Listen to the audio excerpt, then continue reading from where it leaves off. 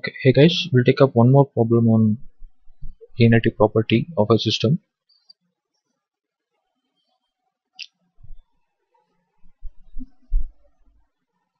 but this time we'll consider discrete time system. Y of n is equal to cos of x of n.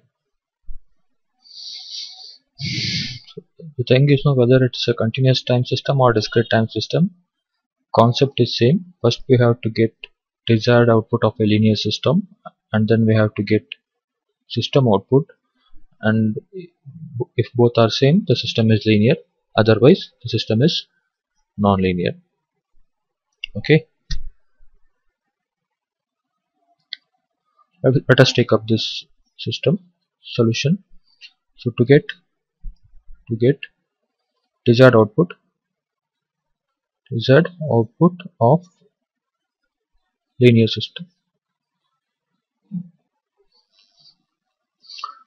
So as per the linearity property transformation of x of n is equal to y of n. Transformation of x of n is equal to what is y of n? Cos of x of n right? Now what I'll give the scaled input. A times x1 of n is equal to cos of accordingly it is a times x1 of n right and what is this? Scaled output right? A times y1 of n. Okay similarly one more scaled input transformation of a times x2 of n is equal to cos of I'm sorry this is b. So b times x2 of n. And what is this? Again scaled output b times y2 of n. Now we shall combine it transformation of a times x1 of n plus b times x2 of n is equal to what is output? A times y1 of n plus b times y2 of n right? And what is a times y1 of n? It is cos of a times x1 of n plus cos of b times x2 of n okay this is equation 1 and what is this? This is actually desired output of a linear system right? Now we'll try to get the system output.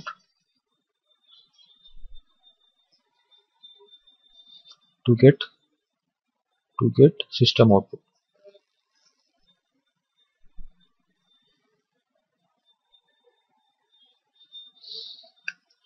so what is the system? System is y of n is equal to cos of x of n right?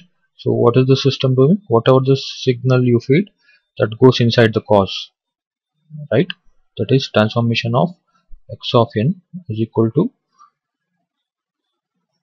uh, y of n and transformation of x of n is equal to what is y of n? Cos of x of n so whatever the signal we feed to the system that will go inside the angle of the cos cos of that signal okay?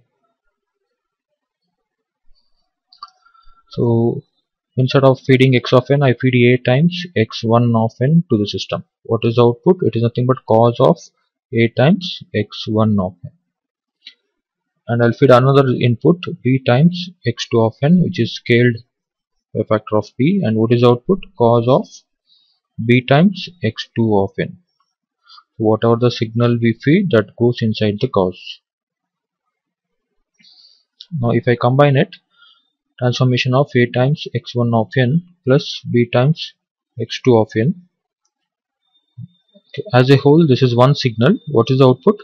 So cos of this entire signal goes inside the uh, cos a times x1 of n plus b times x2 of n okay so now what is this? This is actually system output. So what was the desired output? The desired output was cos a times x1 of n plus cos b times x2 of n. And the system is cos of a times x1 of n plus b times x2 of n.